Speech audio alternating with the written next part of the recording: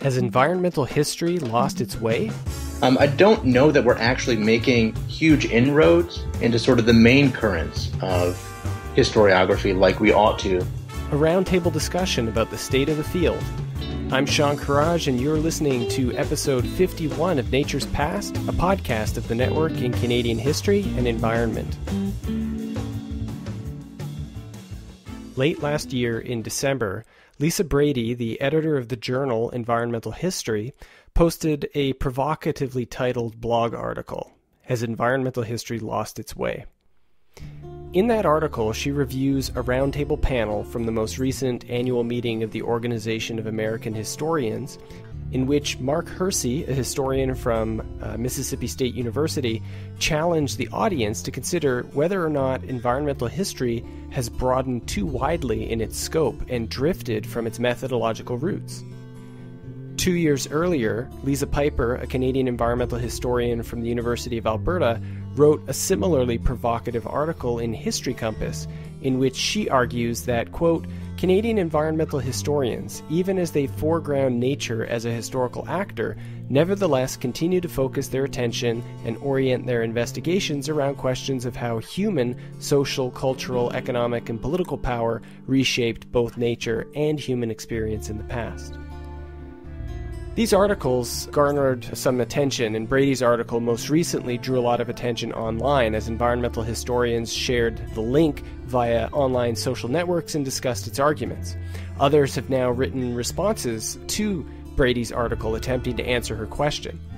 The discussion is focused on the question of whether environmental history should emphasize materialism and the use of environment as an analytical lens, or proceed as a big tent that incorporates a wide range of scholarship regardless of methodology. On this episode of the podcast, I invited Lisa Brady, Mark Hersey, and Liza Piper to discuss these questions and further explore whether or not environmental history has lost its way. I'm Lisa Brady at Boise State University, and I am the editor in chief of the journal Environmental History.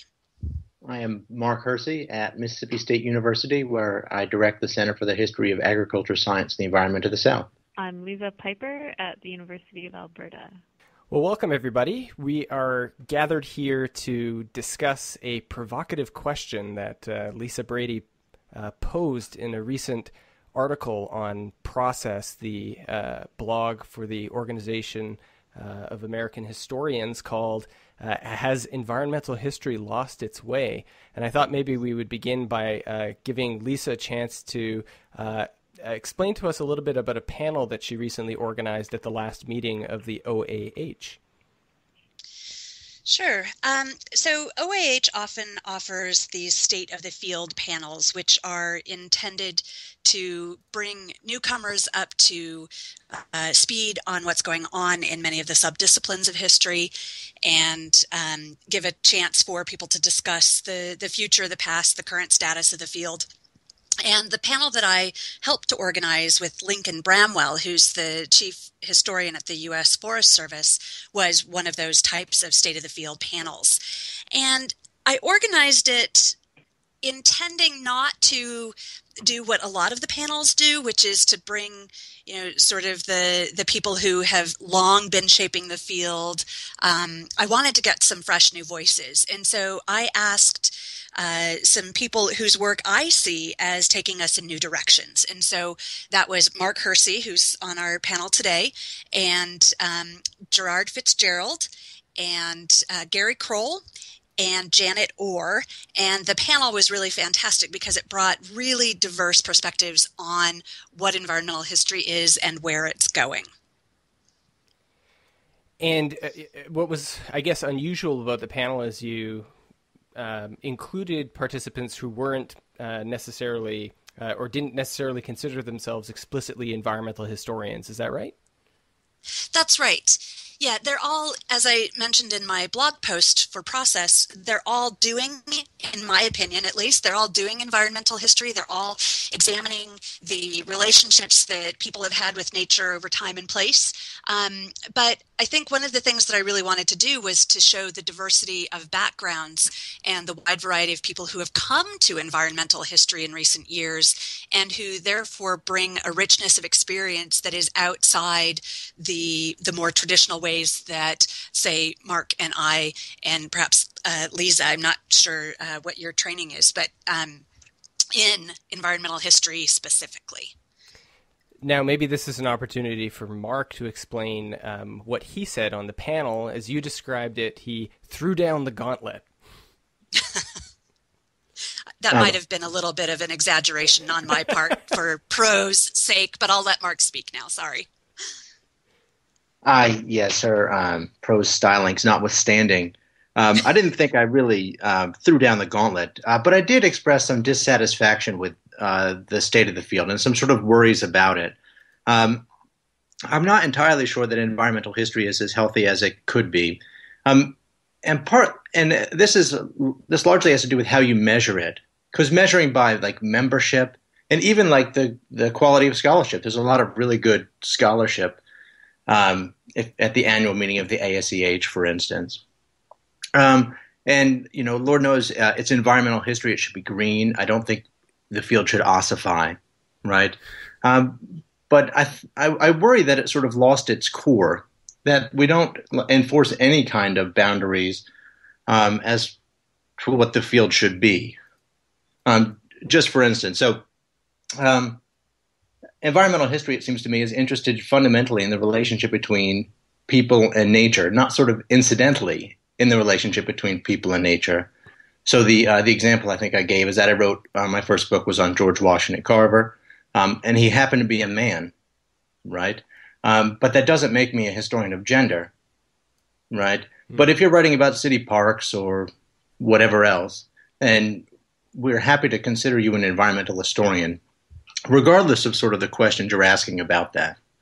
And so that was uh, that was my concern.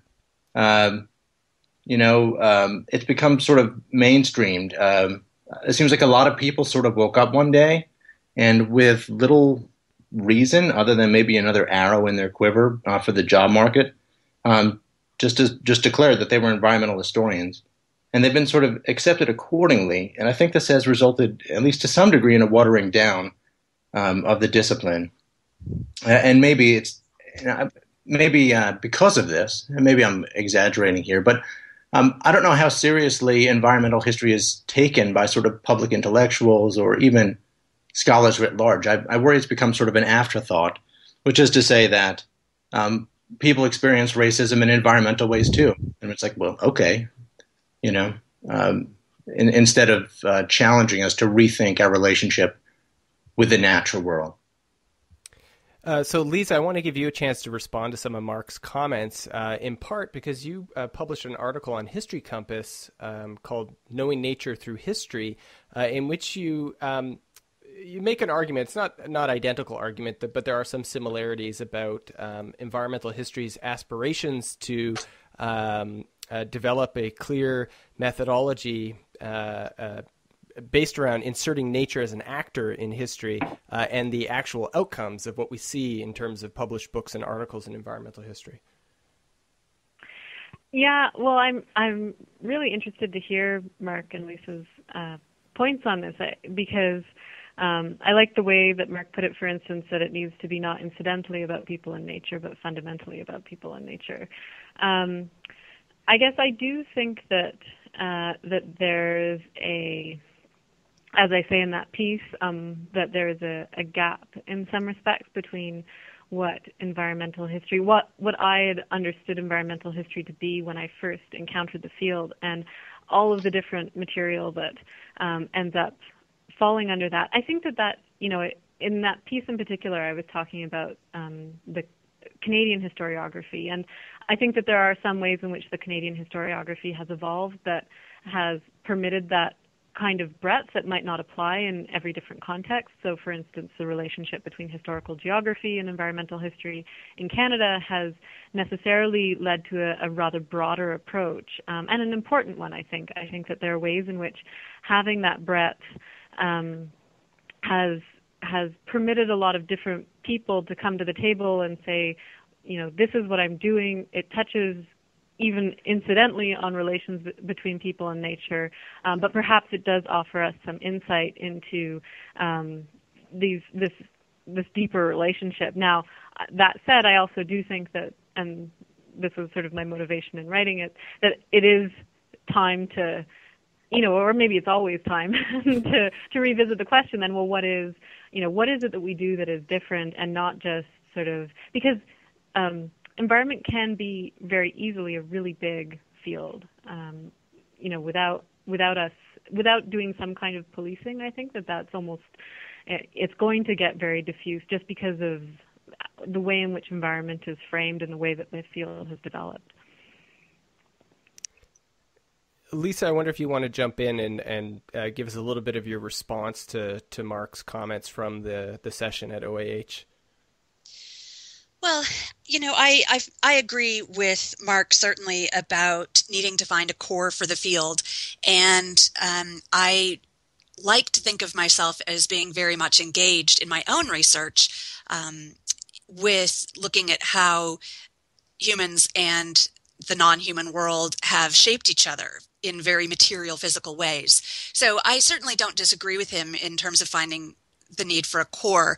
Um, but I think that, that Lisa makes an excellent point that environmental history has developed in different places with different origins. Um, and, mm-hmm. and, maybe I'm not quite mis, uh, stating that correctly. I'm not sure that environmental history evolved out of historical geography in Canada or out of landscape history, say, for example, in the UK.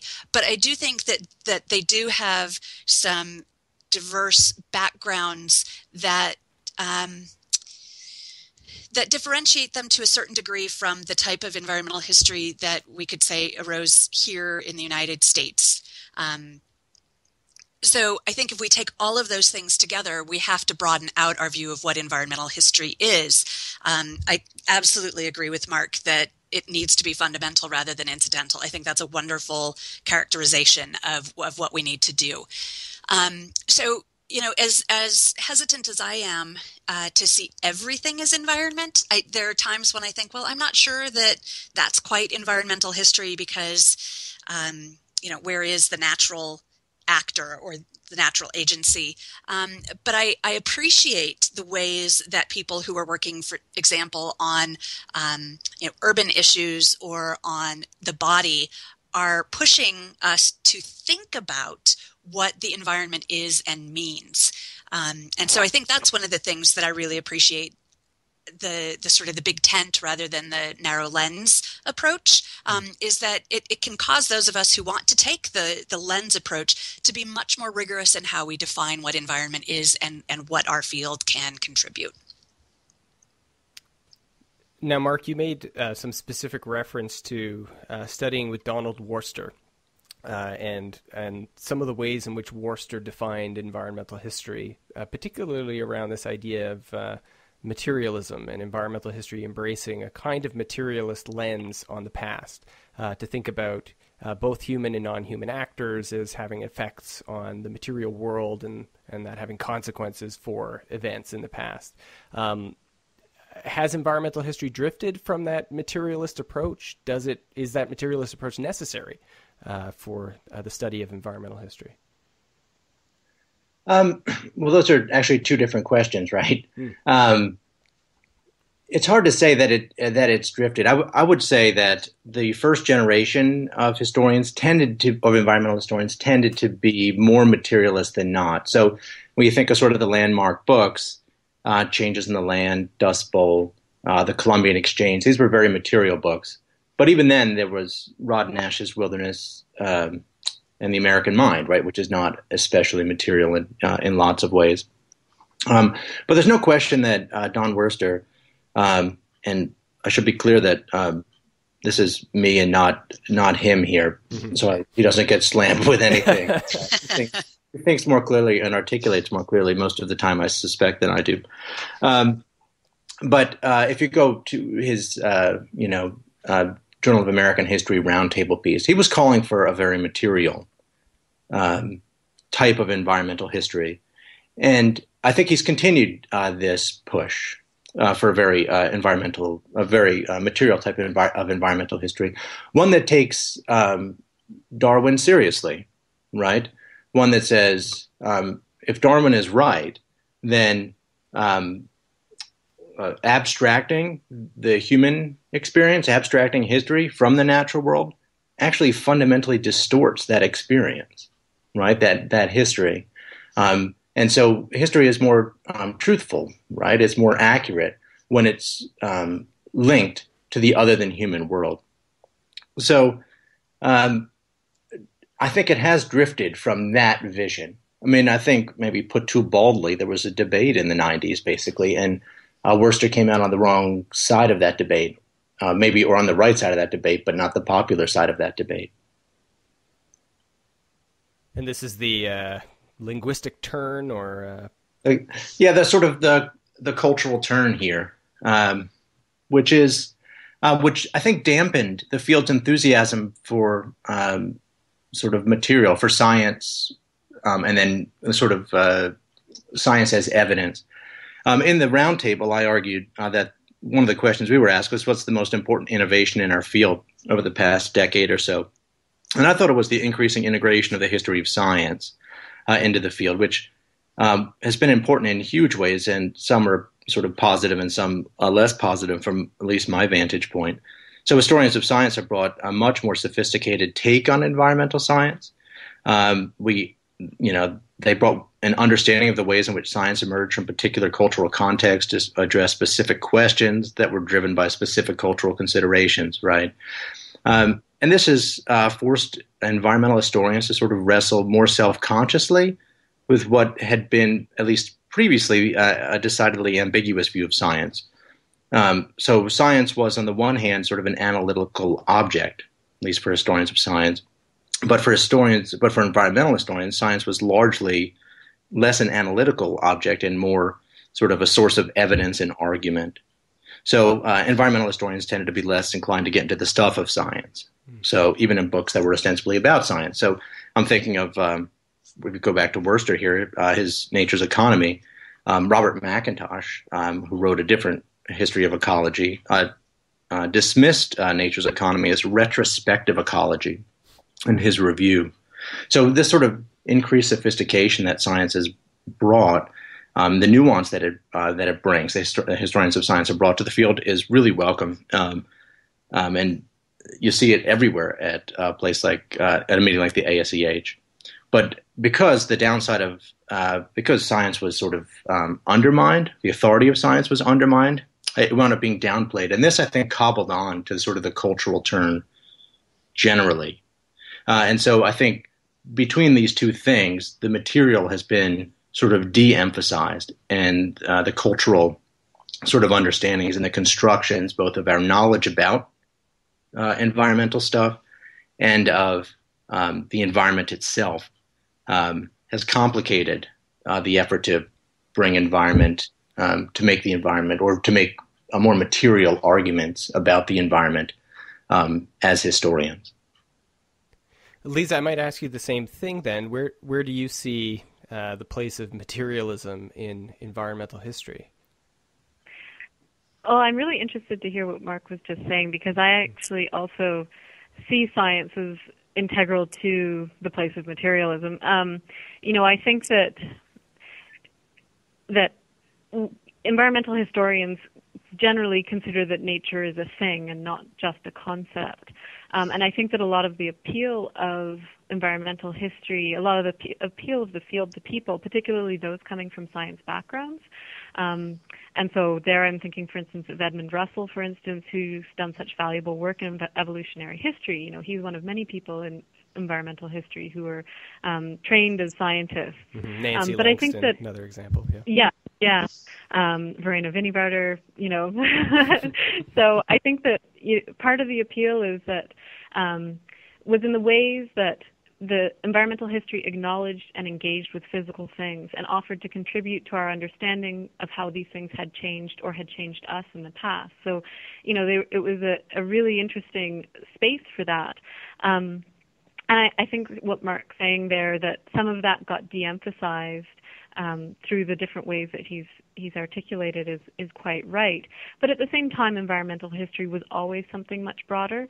You know, mm-hmm. um, I remember doing coursework with Richard Hoffman, and he showed this Venn diagram of um, ecology, economy, and culture overlapping, and you know, and in that diagram, the materialism is just one part of something that's much larger. And so everybody who was coming to it, for as much as they the the materialism was there and was part of the appeal and part of what drew them to it in some instances in the first in, in the first place, um, that there was that they also sought the other aspects of it. And so perhaps part of the question isn't you know, part of the question isn't that we've moved too far away from materialism, but perhaps just that we haven't been giving it as much attention as we might feel that it warrants.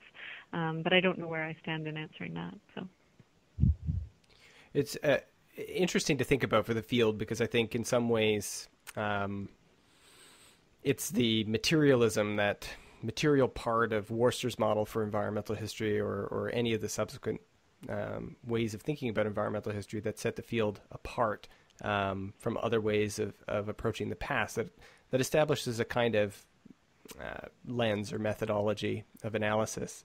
Um, and I wanted to ask the panel if they thought of or could think of any recent works in environmental history uh, that you could point to as an example of taking a kind of a materialist approach to to studying the past. And I'll I'll I'll throw my book in there on the list, not my own book, but um, uh, Mark Fiege's book, uh, Republic of Nature, I think attempts to do precisely this to take just about any topic, in fact, topics in U.S. history that um, scholars might not at first blush consider to be environmental history, um, and perform a kind of environmental history analysis using a, a materialist lens. I would jump in with um, much of the work, ongoing work in climate history and marine history.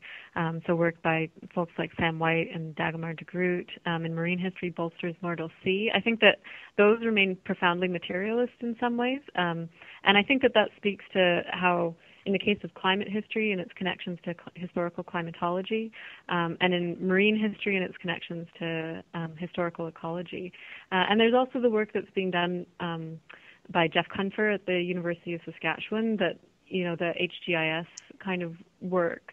Um, all of that, I think, is really for you know it very much foregrounds materialism in certain ways. I, I would suggest that uh, Brett Walker's piece on asbestos and 9/11, that was part of the recent um, disease in the Anthropocene forum uh, in the October issue October 2015 issue of Environmental History is an excellent example of it, where he looks at the the um, sort of the chemistry of asbestos, the uh, geography of asbestos, and then the uh, transformation of it into building materials. And the he, he then connects those material things to the politics and the economics of building in New York City, and then takes us back to the material again when the the trade center is destroyed and the asbestos is essentially released and then what does that do to to human bodies. And I think that his piece is, is a really good sort of full circle material look at a particular um, uh, part of the environment which occurs naturally, asbestos. And Mark, are there any uh, recent works that stand out in your mind as examples of a more materialist approach to environmental history? Uh, sure. You guys have mentioned uh, a, a, bunch of really good ones uh, already. Um, I had thought about uh, Ed Russell's uh, evolutionary history, of course.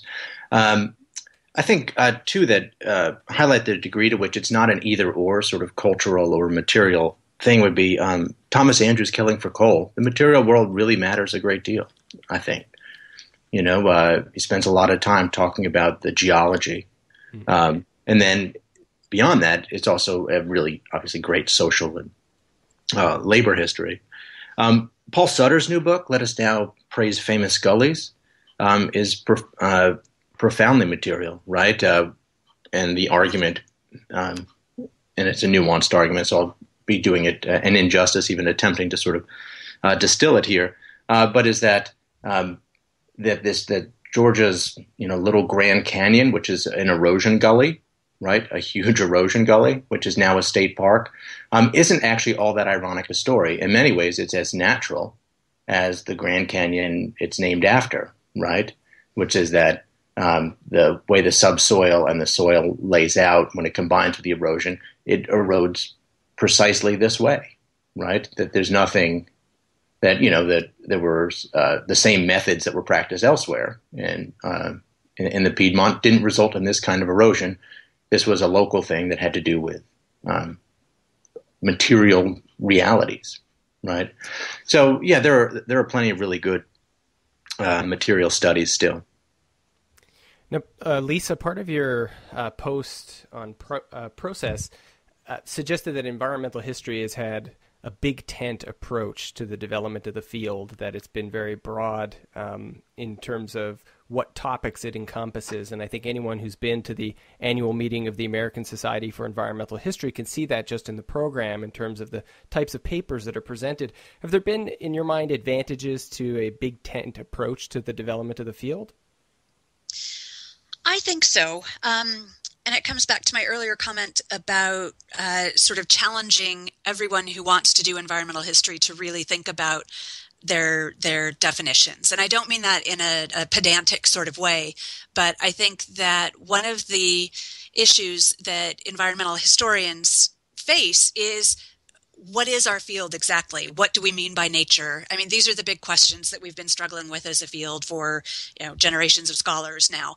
Um, but i think what is really appealing to me about the big tent is that um, even if what someone is presenting, say, at the ASEH or the ESEH, ESEH or any of the, the wonderful conferences on environmental history, um, even if it's not my definition of environmental history, I can take some really great things out of it and apply it to my own work. And I think one of the great benefits of, of our field is how inclusive it has been.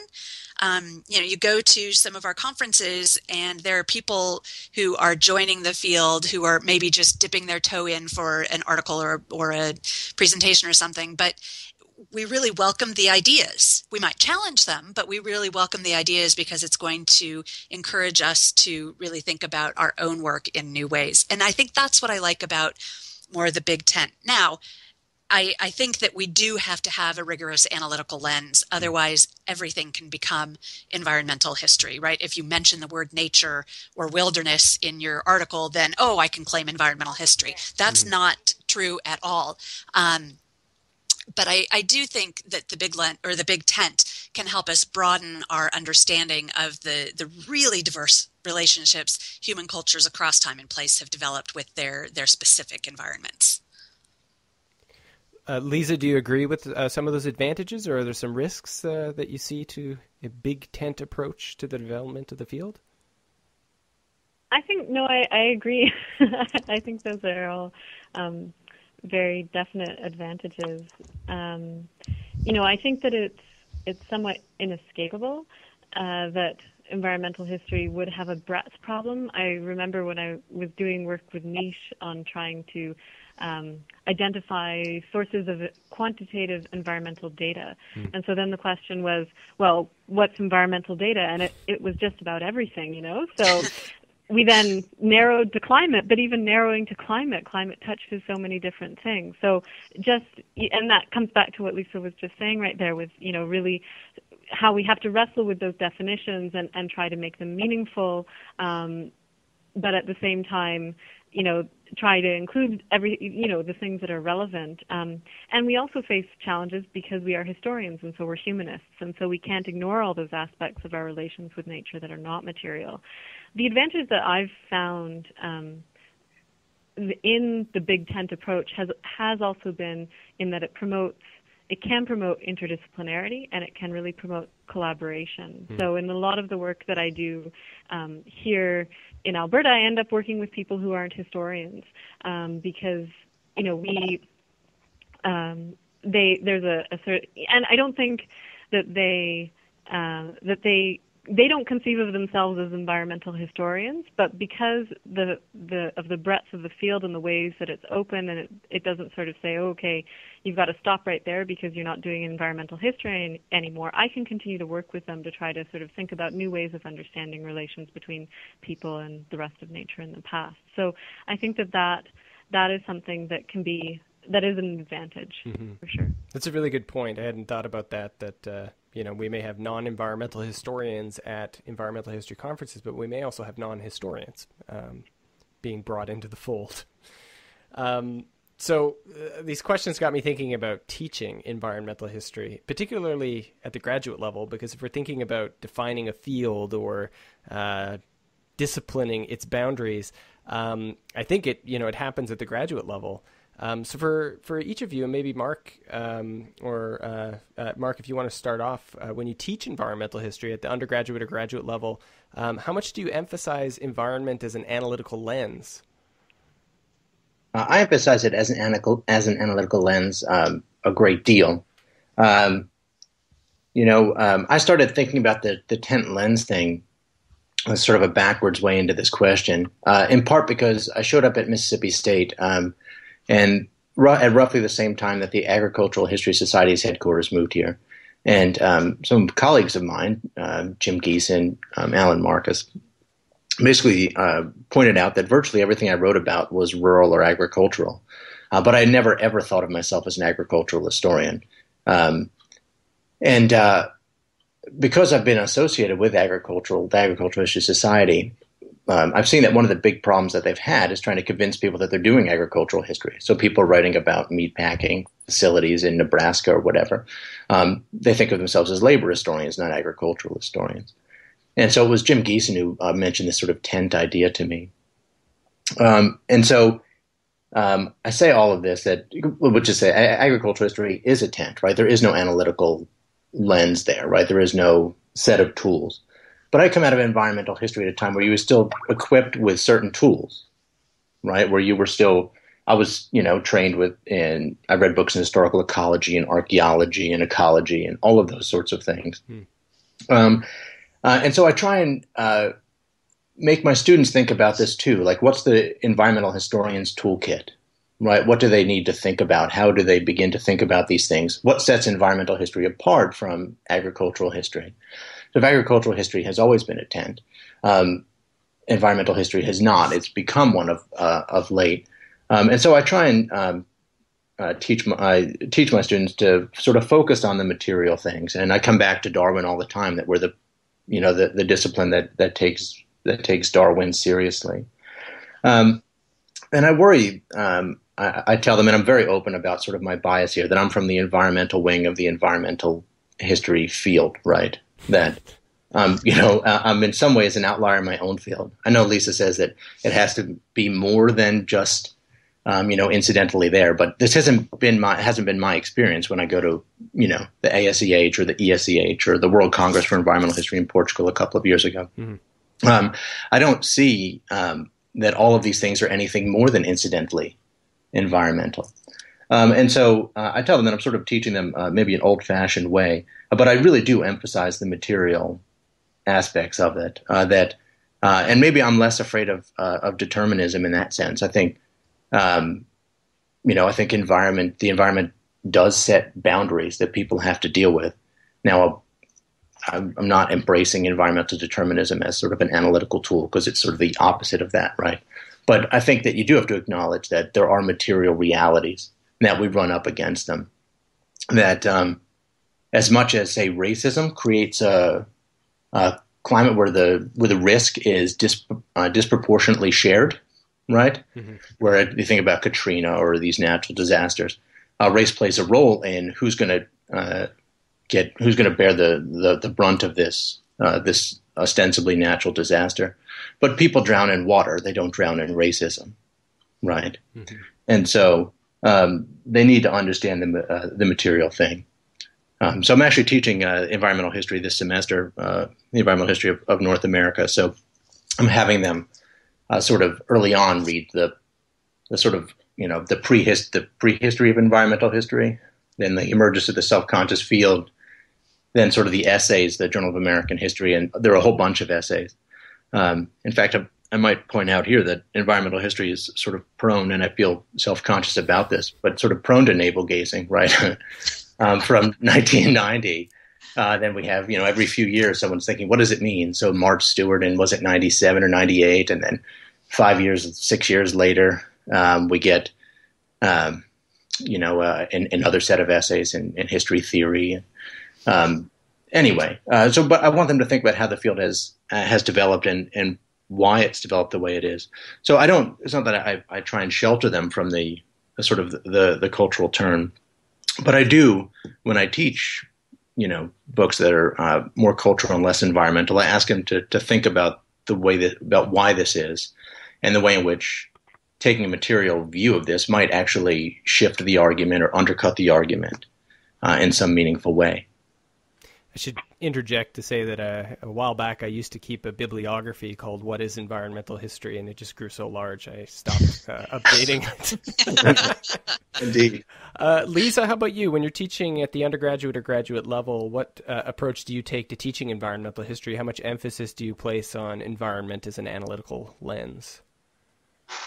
Um, I place a, a fair emphasis on it. I'd say. Um, I I in some respects, and this is in part because some of the environmental, sometimes I teach environmental history as courses in environmental history. Other times I'm teaching courses that are um, like the history of the Canadian West hmm.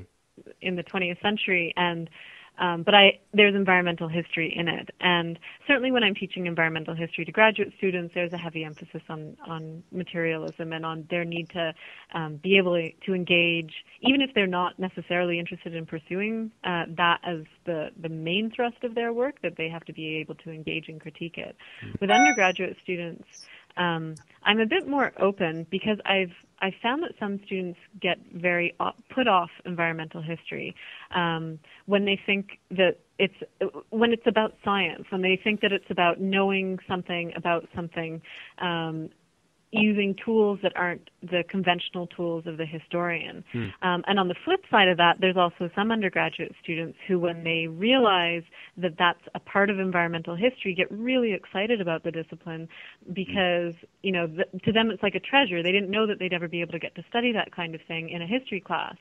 So I try to, with some of my undergraduate teaching, um, I guess because I don't know, I want to recruit students to the field, whether that's a good idea or not, but I do. Um, and so, you know, I, I, I, I try to, um, I, I, I sort of, I, I try not, I try to present it in a way whereby they feel that they can engage with it um, more if they want to. Um, you know, if it really really appeals to them. And so I tend to emphasize uh, one of the things that I do is I work with, you know, I'll give them um, sort of works of science to read and to try to engage with and to try to think about, so that they can use those, you know, that they can develop the skill set to engage with other disciplines. And so this goes to what Mark was saying about having to read historical ecology and archaeology. Those are things that I get my students to do. Um, you know, as part of as part of the skills that, that I'm trying to equip them with, um, whether it's in introducing environmental history to them or in more advanced settings. So uh, these are some of the similar arguments that um, uh, came up in an interview that we republished from uh, historicalclimatology.com on the NiCHE website uh, with uh, Dagomar Degroot and Richard Hoffmann and Alan MacEachern and John McNeill talking about teaching climate history and confronting some of the same difficulties of uh, getting students to engage with the scientific literature. And I think John was was co-teaching the course with a climatologist. Um, Lisa, how about you? Uh, your approach to teaching environmental history, analytical lens or big tent? Well, you know, it's um, it's a little of both. Uh, at the graduate level, I certainly emphasize uh, the same sorts of tools that Lisa and and Mark have been talking about, getting them engaged in reading scientific work so that they can understand um, how to apply that data and that understanding to their own work. Um, at the, the undergraduate level, you know, I incorporate environmental history into every class I teach. I, I, mainly teach courses that are specifically identified as environmental history, but I also teach a course on themes in world history. And my theme is revolution. And so I spend a lot of time on the agricultural revolution, on the Columbian Exchange, um, getting students who may or may not go on into history to think about the roles that. Um, that the natural world and scientific uh, discovery and analysis play in our understanding of the development of human societies. Mm-hmm. Um, and I'm I am also like Mark teaching a North American environmental history course this term, and the first week I actually spent all on dinosaurs and um, you know getting them to think about how the the continent itself, as we currently define it, has changed over time, both in terms of um, what kinds of animals and plants have populated it, but then what that also means for uh, thinkers and and um, policymakers and other people down the road. For example, like um, Thomas Jefferson and his, the debates over extinction and the fossils and that sort of thing. So, I am very much a materialist in in my presentation to my classes, especially at the undergraduate level. Um, I also am very much about getting students to think about history in terms of evolution. And coming from a state like Idaho, um, that has been a problem in the past where mm. I've had students say, well, I don't think evolution is real. And, you know, I have to tell them, well, your your views are your views but for this class you have to understand how this process of evolution impinges on human development um, so it's a little bit, you know, in that case, I suppose I have to be big tent mm-hmm. to incorporate my students' beliefs and backgrounds and prior knowledge. Um, and and I think it's worked, uh, but it's it can be a little bit difficult, you know, to take a, a purely materialist approach when you've got a really diverse set of students that um, may or not uh, sort of push back on those kinds of ideas and, and approaches. Yeah, I think I've had similar concerns when I emphasize materialism in my teaching of environmental history, especially at the graduate level. Um, I've always wondered, you know, what what will happen one day when I have a classroom where I have a student who is very strictly constructivist, um, and uh, and and doesn't accept uh, the um, material forces on uh, on uh, events in the past. Uh, thus far, it has not happened. they've, they've, they've, all bought into it pretty quickly, which is lucky for me, I suppose. Um, yeah. Now, I had a different question here as the conclusion about the potential of a fracturing of the field along the lines of environment as lands or environment as tent. But I just in thinking here, I wonder if it's better to conclude our discussion by trying to give some kind of response to the title of your post, Lisa. Uh, maybe I'll, I'll, ask Liza Piper to begin. Has environmental history lost its way? I don't think so. um, you know, uh, I think that there are that I think that those people who find their home in environmental history um, still have a very strong sense of what environmental history is. And I think that there is still room to be you know to be open because I think frankly that one of the reasons that the field has I think developed actually really rapidly in recent you know in the past 20 years has been in part because it was sort of um, absorbing these insights from all of from a lot of different places and I think that you know that that uh, that has been a very productive kind of engagement.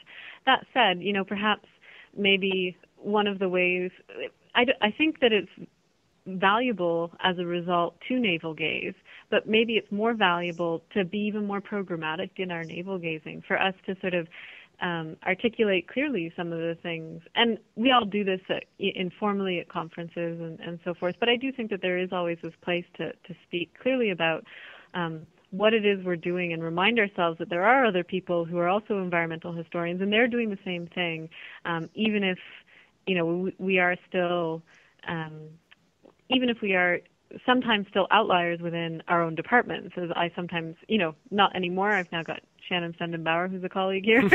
um, but for a while, I felt like an outlier in my department because I was the only environmental historian, and so nobody else was engaging with with um, material sort of material aspects of the past in quite the same way that that I was. Um, so I don't think that it's lost its way, but I think it's always good to stop and reflect on you know where we've been going and and you know what where we are right now. And Mark, I maybe come back to you. Has it lost its way? Um, see, I'm kind of a glasses half empty kind of guy sometimes. Um, you know, um, I don't know. Lost its way uh, indicates it had like a, a, really clear direction at some point, right? Um, I think it's well. I think the the interventions of the of the 1990s, um, the debates in the 1990s, the cultural turn, the greater in uh, greater influx of history of science, and all of that sort of stuff, um, did did fundamentally disorient the field, right? And it, um, you know, what we get, have um, with apologies uh, to Robert Wiebe are sort of a bunch of island communities, right, that sort of gather under this umbrella, uh, maybe at the ASEH. Um, and this does have lots of benefits, right? Membership um, is high. Uh, I think when I first started going, was it in Durham, the first ASEH I went to? Um, and now we're in, you know, Seattle and Chicago, and um, and it's brought in a lot of really, really great scholarship so um, that is all uh, that that's all great. Um, my concern actually with it losing its way is um, partly, and, and, and Lisa uh, hinted at this, um, which is to say, there are lots of jobs for environmental historians, but usually once a department has one, they can check that box. You know, um, I don't know that we're actually making huge inroads into sort of the main currents of historiography like we ought to. Um, I don't see environmental history sort of radically um, rewriting, say, uh, the main currents of, of American history. I think it remains more or less marginal in a way that I don't think the first generation of scholars were marginal, right? I think uh, the work of uh, Cronon in uh, Changes in the Land or Worster in Dust Bowl or um, you sort of run down the list of people. I think they really um, got the they got the broader American uh, they got the attention of the broader field of American history, and I worry that as we sort of uh, fracture and gather um, under one big tent, but we don't have sort of a core there, um, that we lose our ability to make that sort of splash. Now there are obviously environmental histories that have done very well in uh, the main currents and have shaped things. Um, but uh, I recently wrote a, a, review essay, maybe yeah, pretty recently, uh, on Walter Johnson's River of Dark Dreams. And uh, Walter Johnson's a, a, really a phenomenal scholar. Um, he's at Harvard. Uh, his first book was brilliant. Uh, the the River of Dark Dreams was actually profoundly material in its orientation and its argumentation, but it wasn't environmental. So it's about like the Lower Mississippi River, but there's no or the Lower Mississippi Valley, hmm. but there's no sense of what that valley is actually like, and most of his evidence is drawn from actually Alabama um, rather than the the lower Mississippi uh, River Valley. Um, I don't know if you know Chris Morris's um, Big Muddy, but you wouldn't have any idea they, these were about the same place. Um, and the the point of this is that he took up issues that notable environmental historians like Ed Russell and Mark Fiege and Paul Sutter and Jim Giesen and, uh, and some others had written about um, without ever referencing them. And it's not. I, I just think he's not reading them. I, I just don't. I just don't think we're being read, and that's probably on us, right? Mm-hmm. Um, but I I worry that we're you know that we're so welcoming that we're not sort of pushing people to um, see what this material focus would how this material focus would change these sort of main currents um, of uh, the broader understanding of what it has meant to be human over time. And I think the first generation of environmental historians did that, at least to a greater degree than we're doing now. And maybe that's unfair. I don't know. Well, it's a provocative question, and uh, Lisa, I'll uh, let you have the final word on that question. Um, uh, one that I think is an important opinion, given that you're the editor of the journal. right? Am I engaging in futile uh, work here? No, I definitely don't think it has lost its way. Um, I, part of you know this this goes along with my uh, characterization of Mark throwing down the gauntlet. Right, mm-hmm. I, I, took a bit of poetic license in that, and perhaps um, proposed too provocative a question for my the title of the blog. Um, but you want to get people reading, right? And I've been really pleased that people have been reading the blog and responding to it. So, um, no, I don't think environmental history has lost its way. Um, you know, I say at the end of the uh, the blog that what environmental history can demonstrate is that whether you take the tent or the lens approach, all roads or all paths lead back to nature. And I think that that Mark is certainly right that um, we aren't reaching the broad audience. And it may be, you know, going back to what Lisa was saying about the navel gazing, maybe we are too immersed in reading each other's work to get it out there to other people. I don't know. Um, but I, I actually think that environmental history is is very vibrant field. It is um, a really uh, diverse field, and I think that is one of its main attractions to me. Is that I can read environmental histories of rivers. I can read environmental histories of um, of uh, permafrost, right, or of roadkill, or of track housing, um, and and I think that uh, we do need to be better marketers of our own work. I'm not sure it's a problem in writing. I'm, i definitely know it's not a problem in argumentation or evidence. I think it may just be that environmental historians, for as rambunctious as we can be at, at meetings, uh, we're pretty shy about getting our work out there. And I think if we've lost anything, it's um, a sense of going out and really promoting the field. And I'd like to think that um, podcasts like this certainly will reach a very broad audience. You've got a wonderful audience out there, Sean. So, you know, maybe this will be the start of um, not finding our way, but bringing other people to the path. Well, I think I'll close things off uh, by saying that uh, we'll leave it to listeners to provide their answers to that last question of whether or not environmental history has lost its way. They can post uh, responses in the comments thread or um, post some responses on Twitter to the uh, at Nature's Past Twitter account. Uh, and I'll close off here with uh, the words of Hal Rothman, former editor of the journal. Uh, his first post on the uh, uh, ASEH listserv in 1996, he wrote, Environmental history is one of the most exciting new disciplines to emerge in the past two decades. It's now been two decades since he wrote that, uh, and I'll ask listeners to uh, respond as to whether or not they see environmental history still as an exciting discipline. I want to thank Lisa, Mark, and Lisa for joining me here and discussing this very provocative, very interesting blog post. thank you, thank you so much, everyone. Thank, Thank you. you. Nature's Past is produced with support from the Network in Canadian History and Environment. This episode was made by Lisa Brady, Mark Hersey, Liza Piper, and me, Sean Kheraj. Music for Nature's Past was licensed by Creative Commons. Details on the artists can be found on our show notes page at niche-canada.org slash nature's past where you can also download new episodes, subscribe to the podcast through iTunes and other podcast players, and leave comments. Please let us know what you think about the podcast by leaving comments and writing a short review on our iTunes page.